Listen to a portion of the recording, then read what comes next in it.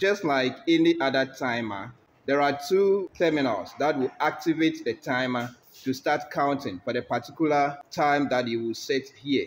Okay, so if you look here, one of the terminals is marked A1, and then the second terminal for the timer coil is marked A2. Good. Then we have other terminals marked 1, 2, and then 3. Okay, these three terminals work like a two-way switch, meaning that there is a common and then there is a normally closed contact and then a normally opened contact. So for this particular timer, we are going to use the 2 as the common. 2 is normally closed to 1. So before the timer gets activated, 2 is continuous with 1. And we can simply check that using the multimeter. So this is uh, terminal 1. If you are using terminal 2 as common, let's see what happens. So terminal 1 and then terminal 2. Okay, so that is normally closed. Let's check terminal 2 and terminal 3. So this is terminal 2 already and then terminal 3 here. Okay, so no continuity. All right, so let's look at how the timer works in drawing. So as you can clearly see, there are two sides of the timer. So at the top, we have one, two, three terminals. And then at the bottom also, we have one, two, three terminals. At the top, we have the terminals labeled A1, this is 2, and this is A3. Then at the bottom, we have them labeled 1, 3, and then A2.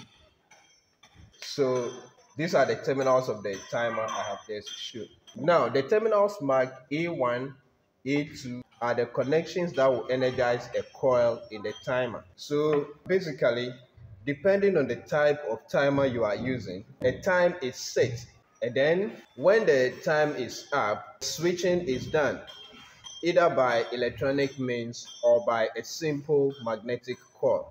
Alright, so the terminals that do the switching to supply power to the next device are these one, two, and then three terminals. These two, one, three terminals operate or work just like a two-way switch. So initially, 2 is normally close to 1.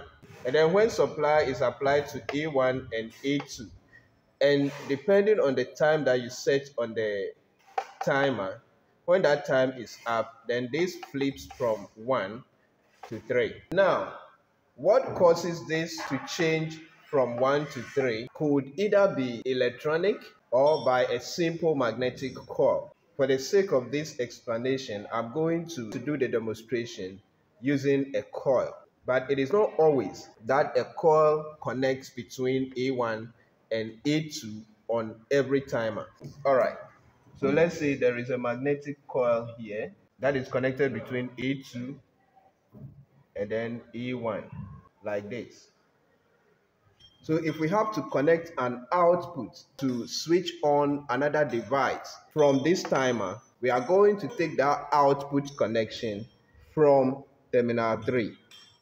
So this can connect to a relay so that as soon as the time set here is up, that relay becomes energized. So we can decide to connect neutral to A1 and then live to A2 or live to A1 neutral to A2.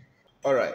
So for the TENSE timer that we are using in our ATS, though there is an A3 terminal, it's actually out of use. So we are not going to connect anything to this A3. So A3 is totally out of our connection.